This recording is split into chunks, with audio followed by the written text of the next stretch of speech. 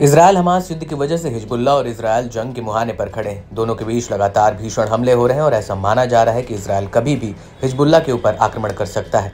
लेकिन इस सब के बीच हिजबुल्ला भी लगातार उत्तरी इसराइल को हमलों से दहलाने में लगा हुआ है।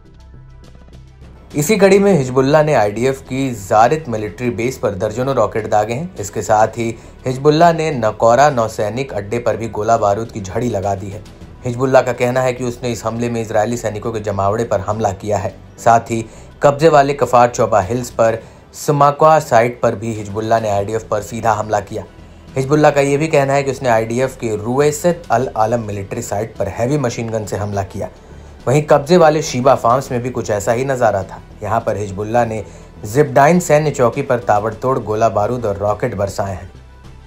इसको लेकर लेबनान के मीडिया हाउस अल मैदीन ने भी अपनी एक रिपोर्ट में कहा कि दक्षिणी लेबनान से इसराइल के पश्चिम अल जलील पर रॉकेट का पूरा पूरा जत्था दागा गया है।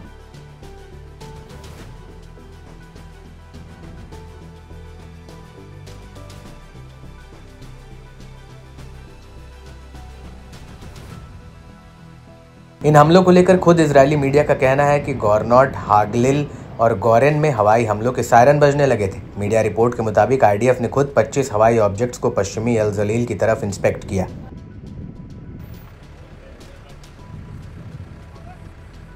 टाइम्स ऑफ़ इसराइल ने अपनी एक रिपोर्ट में कहा है कि हिजबुल्ला ने उत्तरी इसराइल पर करीब 45 रॉकेट फायर किए।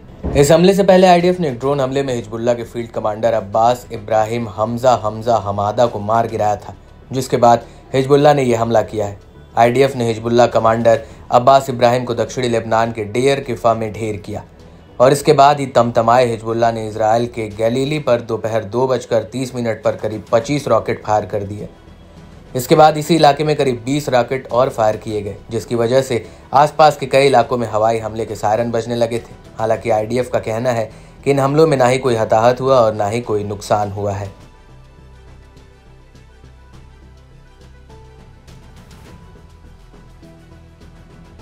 लेकिन बड़ी बात यह है कि हिजबुल्ला के रीजनल कमांडर को मारकर आईडीएफ को बड़ी कामयाबी मिली है। आईडीएफ का कहना है कि हमादा हिजबुल्ला की एक रीजनल यूनिट में ऑपरेशंस का अधिकारी था, जो कि जोया इलाके में सक्रिय था। ये इलाका दक्षिणी लेबनान के डेर किफा इलाके से काफ़ी नज़दीक है और ये इलाका इसराइल लेबनान बॉर्डर से बेहद ही नज़दीक है।